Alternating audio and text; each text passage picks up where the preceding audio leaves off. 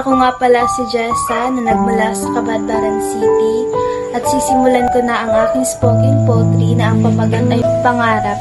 Tatlong patnigulong letra ang mga mithiin na hindi lahat ay makakamit o makukuha. Karamihay para sa mga taong nabubuhay sa karangyaan at kapangyarihan.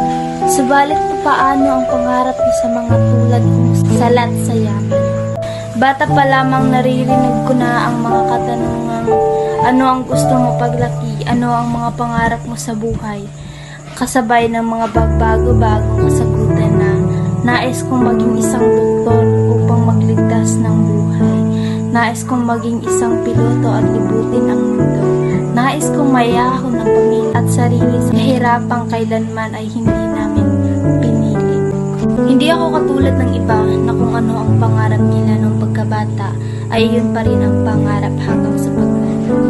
Maraming dapat na isaalang-alang, maraming nagbago at maraming mga bagay na dumating at umaapekto. Naglalaro sa isipan kung anong pangarap ba ang dapat natahakin at tuparin.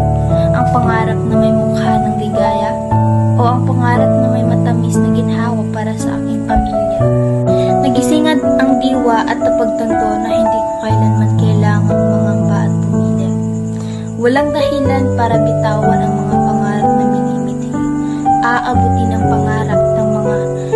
maging isang magiting na doktor at susuklian ang sakripisyo at paghihirap ng aking mga magulang.